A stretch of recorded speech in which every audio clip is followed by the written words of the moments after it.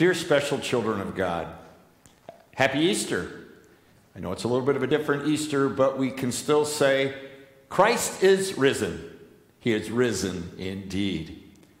And one of the remarkable things about Easter is the contrast between Good Friday when Jesus died, then he was buried in the tomb, and on Easter morning, the tomb is empty. We have then Jesus alive again, and one of the ways that we beautify our churches at Easter is with Easter lilies. But let me show you how it all starts. In my hand here, I have some things that look a little bit dry, because they are, almost look a little bit dead.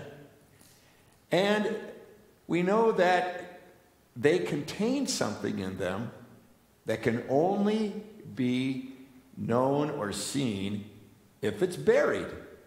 These are flower bulbs. And notice the ways these look. And so we bury them in the ground. We plant them, and then we have to wait. And we have to wait patiently. Sometimes it's hard to wait patiently, but we know that God will bring about all the blessings He wants for us, all in good time. And so we see that when we plant this bulb in the ground, in a sense, bury it. Just like when Jesus died on the cross, he was buried in a tomb. Some special friends of Jesus, Joseph of Arimathea and Nicodemus, took Jesus' body, put it in a tomb. The women anointed the body of Jesus in a special way. And the morning of Easter, they came and they still were expecting something more like this. But what happened? When they came to the tomb, it was empty.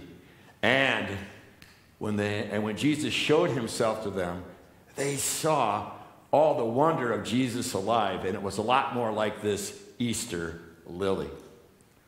What a contrast between what appears to be dry and dead and buried and what's alive and full. How amazing is that?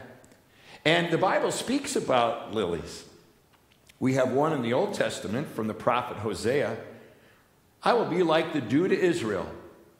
He will blossom like a lily. Like a cedar of Lebanon, he will send down his roots.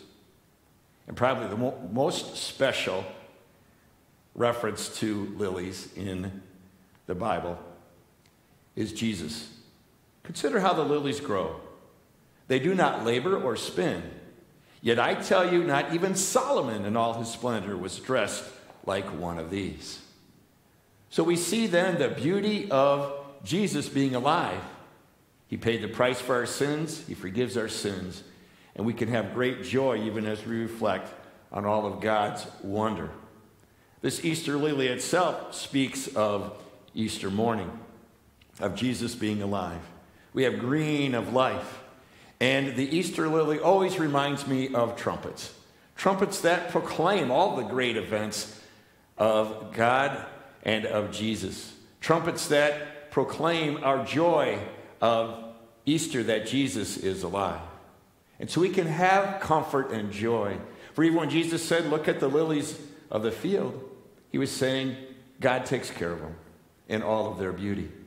And so when Jesus comes alive, he comes forth glorified in a very special way. The same real Jesus, the same Jesus that physically is alive, but the same Jesus that was with his disciples for a time, and the same Jesus that is with us now, every single day, every moment of every day.